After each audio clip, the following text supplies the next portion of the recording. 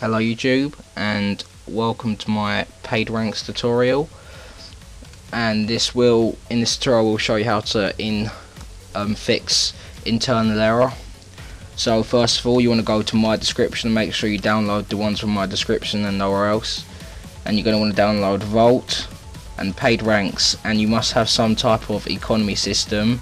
I use essentials and you must have some type of permissions and I use PermissionsEx. So after you've got all those in you're going to want to run your server to generate the folders which I already have because I already ran my server earlier. And then once you run your server just hit stop and go back to your plugins go to paid ranks and then open rank prices. And it should look exactly like this. And if it doesn't then you've not downloaded the one from my description because this is version 1 and this is the one you need because the latest one out does not work. And I want to get my permissions. And I've got my permissions off and my paid ranks. And my permissions is all messed up so let's edit this in notepad plus plus. Alright. Oh and after you've got this up you're going to want to just basically put the ranks in that you want to use. So I've got plugin. I'm just going to add plugin. I've got mod. Just going to add mod. I've also got super. And make sure you do space like I've done. And I've added super admin and then I want to just add them again here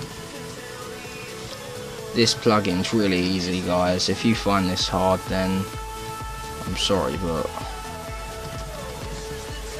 you shouldn't be hosting the server.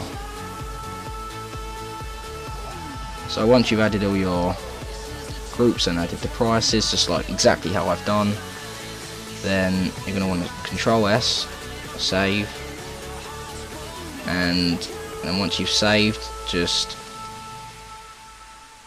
run your server and I will see you on uh, Minecraft.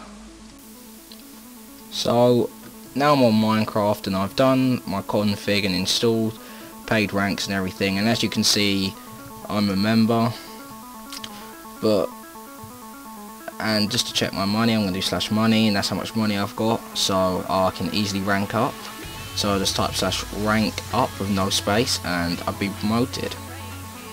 So if you this this includes no permissions, you don't have to add any permissions or anything like that.